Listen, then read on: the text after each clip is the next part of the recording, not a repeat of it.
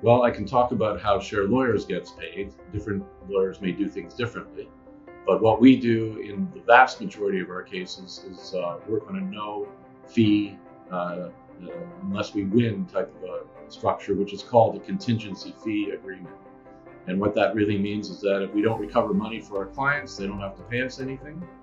Um, and, and that's generally what most of the lawyers in, in this practice area are doing present time. There are some exceptions. Sometimes the client would prefer to be charged by the hour, um, and we, we do offer some alternative uh, fee structures depending on the client, but the vast majority prefer the idea of not paying unless they recover money in their claim.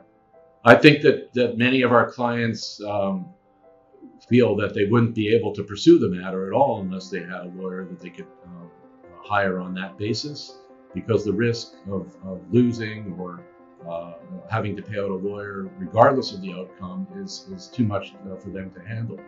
I mean, it, you know, in our cases, if you, you lose in court, you may have to pay something to the other side. That's the way our system works. But we navigate that and try and keep our clients away from that type of risk.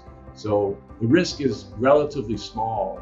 Um, and the good news is that if, if, we don't recover money for them, they don't have to pay anything. And clients are, are reassured also by the fact that uh, we're not going to take on a case unless we feel there's a reasonable chance of success. Uh, because if we can't recover money for them, then we don't get paid either. So we don't want to waste their time. We don't want to waste our time.